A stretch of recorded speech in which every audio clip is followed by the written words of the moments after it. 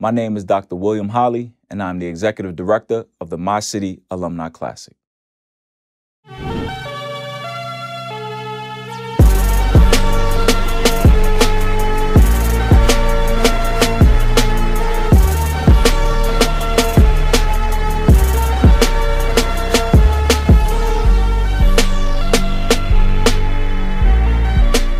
In the spring of 2022, we tipped off the inaugural classic.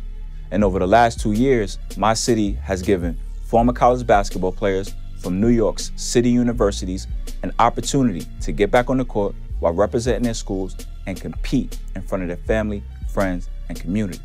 My city has also served as a great place for these alums to rekindle old friendships and forge new ones.